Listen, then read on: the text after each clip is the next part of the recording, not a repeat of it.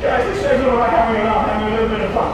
So let's uh, try not to take it too seriously, okay? Here we go. Um, basically, the more you put into the show, the more you'll get out. Daryl, just hold it up for me. Here we go, look at this. Daryl, Daryl's a man having a good time. You having a good time, Daryl?